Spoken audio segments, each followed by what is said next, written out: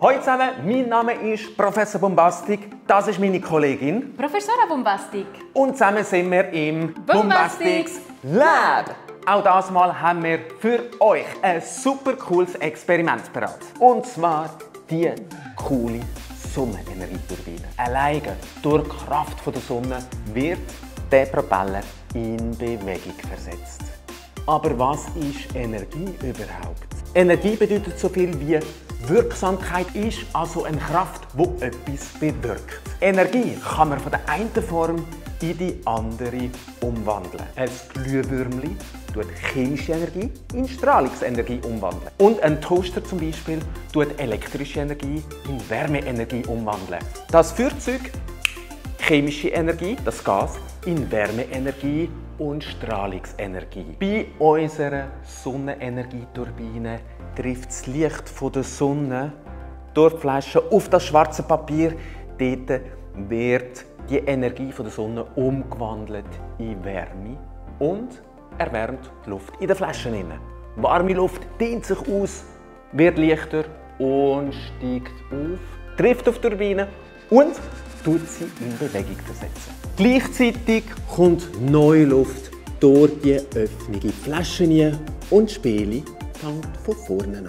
Und jetzt würde ich sagen, Gehen wir an die Arbeit. Und wir zeigen euch, wie ihr die Sonnenenergieturbine selber könnt basteln könnt. Und vor der Schritt-für-Schritt-Anleitung sehen wir jetzt, was ihr alles dazu braucht.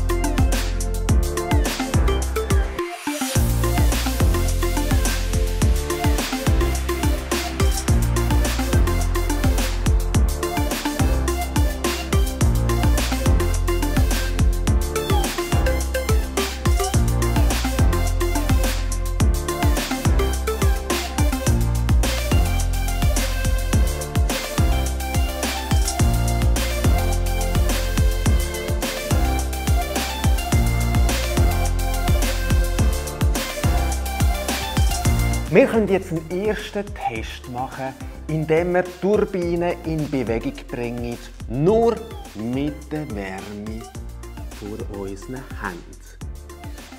Schau bei dem Experiment, dass du die Sonnenturbine an einen ganz windstillen Ort stellst, am besten sogar hinter einem Fenster.